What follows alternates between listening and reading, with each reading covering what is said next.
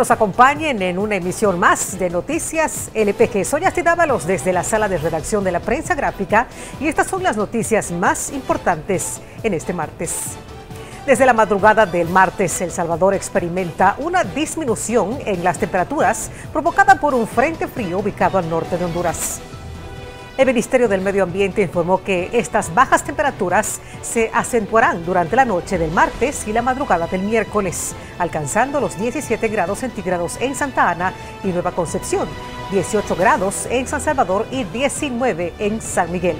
Las autoridades también informaron que se esperan vientos con ráfagas que podrían superar los 60 kilómetros por hora. Las recomendaciones son abrigar y proteger a los niños y adultos mayores para evitar enfermedades, principalmente las respiratorias. La Policía Nacional Civil capturó a William Alexis Villalobos, acusado de feminicidio en perjuicio de Priscila Magalí García Pérez, de 25 años, quien era su pareja sentimental. El crimen ocurrió en octubre de 2016, cuando el cadáver de la mujer fue encontrado apuñalado en un predio baldío de Soyapango. Según los investigadores, Villalobos cometió el crimen para cobrar un seguro de vida de la víctima. Operación Fin de Año, ese es el nombre que las autoridades de seguridad le dieron a un operativo realizado la madrugada de este martes en ocho departamentos del país.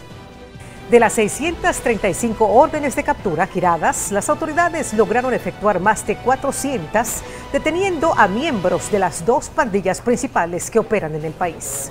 Durante el operativo, las autoridades también leyeron nuevas órdenes de captura a 205 miembros de pandillas que ya están recluidos en diferentes centros penales del país.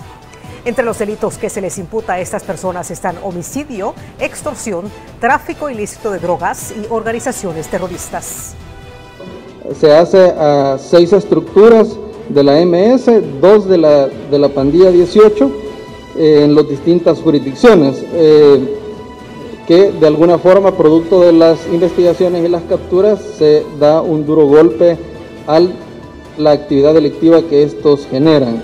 En video quedó registrado el momento en que un adolescente guatemalteco de 14 años de edad cae desde la parte superior del muro fronterizo entre México y Estados Unidos y sufre una grave lesión en la espalda.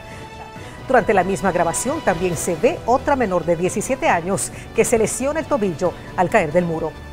Momentos después de las caídas, agentes de la patrulla fronteriza llegaron y solicitaron asistencia médica para los dos jóvenes. Los otros cuatro migrantes que los acompañaban también fueron detenidos.